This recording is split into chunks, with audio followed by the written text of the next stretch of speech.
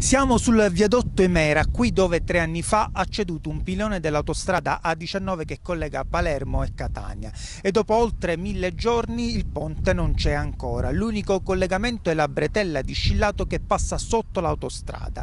Il ministro delle infrastrutture Danilo Tonnelli da qui è partito per un viaggio tra le strade disastrate della Sicilia. Dopo la tappa di Palermo e Catania andrà nell'Agrigentino sul viadotto Morandi e sulla statale 640. Toninelli invece domani sarà sulle strade delle Madonie, ma sentiamolo.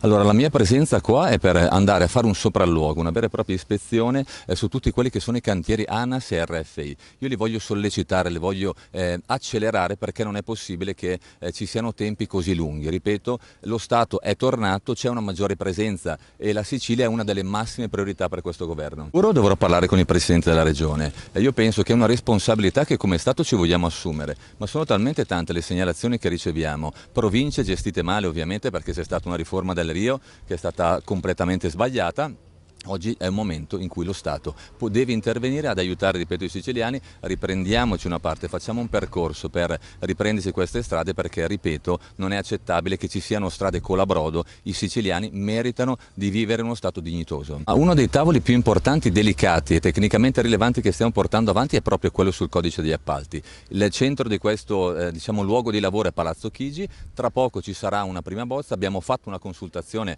eh, pubblica con tantissime migliaia di contributi minuti, l'obiettivo è quello di semplificare chiarificando, chiarendo quali sono le norme e semplificando finalmente queste norme per sbloccare investimenti.